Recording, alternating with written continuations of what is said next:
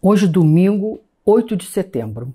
O Sol, no signo de Virgem, faz um contrapeso para Saturno no signo de Virgem.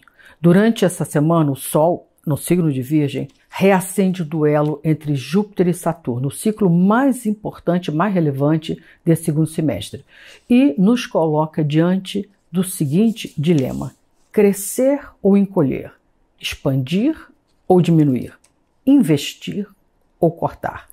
Questão colocada pelo ciclo Júpiter-Saturno, pelas adversidades, né? pelos adversários Júpiter-Saturno.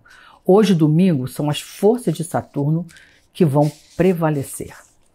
O Sol em oposição a Saturno nos mostra com clareza o que pode ser cortado, enxugado, dispensado, descartado, o que está pesando demais em nossas vidas. E não estou falando só em termos de custos ou gastos financeiros, mas também de outras moedas igualmente preciosas, como tempo, energia, paz de espírito.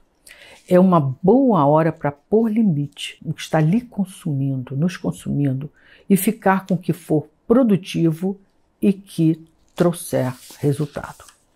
Isso vale para a vida material, familiar, social, afetiva. Hora também de delegar tarefas, incluir terceiros nas responsabilidades. Se sentir que está carregando sozinho o seu peso e o peso dos demais.